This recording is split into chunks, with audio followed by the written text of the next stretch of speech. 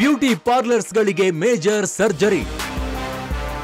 Doctor versus beauty ಫೈಟ್ನಲ್ಲಿ ಜಯ ಯಾರಿಗೆ? ಮುಖದಲ್ಲಿ ಇದೇನ್ ಮೊಡವೆ? ಪಾರ್ಲರ್ಗೆ ಹೋಗ್ಬೇಕು. ಫುಲ್ ಮುಖ ಟ್ಯಾನ್ ಆಗಿದೆ. ಪಾರ್ಲರ್ಗೆ ಹೋಗ್ಬೇಕು. ತಲೆಗೂದ್ಲು ಹೀಗ್ಯಾ ಕುದುರ್ತಾ ಇದೆ? ನೆಕ್ಸ್ಟ್ ವೀಕ್ ಪಾರ್ಲರ್ ಆಂಟಿ ಬಳಿ ಅಪಾಯಿಂಟ್ಮೆಂಟ್ ತಗೋಬೇಕು. ಹಿಂಗೆ ಬ್ಯೂಟಿ ಮ್ಯಾಟ್ರಲ್ಲಿ ಹೆಣ್ಮಕ್ಳು ನೇರವಾಗಿ ಹೋಗೋದೇ ಬ್ಯೂಟಿ ಪಾರ್ಲರ್ಗಳಿಗೆ.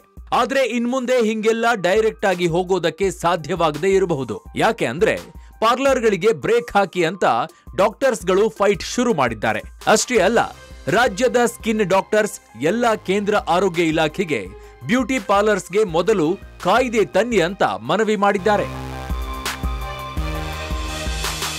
ಅರೆ, ಈ ಬ್ಯೂಟಿಗೂ ಸ್ಕಿನ್ ಡಾಕ್ಟರ್ಸ್ಗೆ ಯಾಕಪ್ಪ ಶುರು ಫೈಟ್ ಅಂತ ಅಂದುಕೊಂಡ್ರೆ ಮ್ಯಾಟ್ರು ಬೇರೆನೇ ಇದೆ. ಮಡಿಕೇರಿಯಲ್ಲಿ ಬ್ಯೂಟಿಷಿಯನ್ ಎಡವಟ್ನಿಂದ ಯುವತಿಯೊಬ್ಬಳು ಆತ್ಮಹತ್ಯೆ ಮಾಡಿಕೊಂಡಿರುವ ಪ್ರಕರಣ ಸೇರಿದಂತೆ ಚರ್ಮದ ರೋಗಗಳಿಗೂ ಬ್ಯೂಟಿಷಿಯನ್ಸ್ಗಳು ಸಿಕ್ಕ ಸಿಕ್ಕ ಮುಲಾಮು ಫೇಶಿಯಲ್ ಲೇಸರ್ ಟ್ರೀಟ್ಮೆಂಟ್ ಮಾಡ್ತಿದ್ದಾರೆ.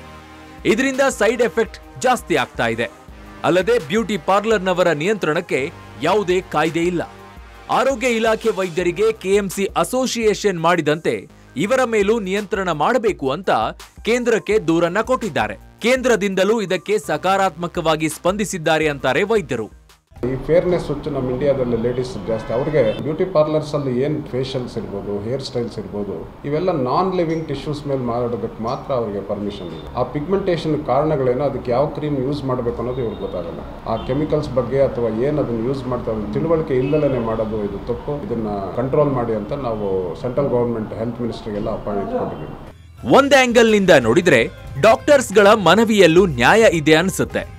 ಆದ್ರೆ ಬ್ಯೂಟಿಷಿಯನ್ ಬ್ಯೂಟಿ ಪಾರ್ಲರ್ಗಳ ಮೇಲೆ ಏನಾದ್ರೂ ಕೇಂದ್ರ, ರಾಜ್ಯ ಕಣ್ಣು ಹಾಕಿದ್ರೆ ನಮ್ ಹೆಣ್ಮಕ್ಳು ಸುಮ್ಮನೆ ಇರ್ತಾರಾ ಅನ್ನೋದೇ ಮಿಲಿಯನ್ ಡಾಲರ್ ಪ್ರಶ್ನೆ.